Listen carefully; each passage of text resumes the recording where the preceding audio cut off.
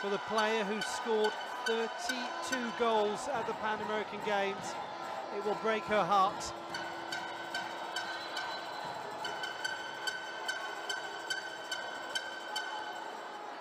And frankly, there is no need